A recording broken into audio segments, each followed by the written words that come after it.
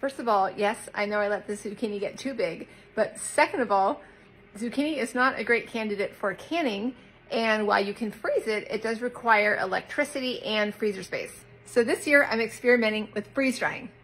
I freeze dried shredded zucchini for adding directly to soups and other dishes. Super easy to store in a jar on the shelf, no electricity required. I also freeze dried diced zucchini, which can also be added directly to soups or other dishes, or it's easy to rehydrate and then use it for cooking.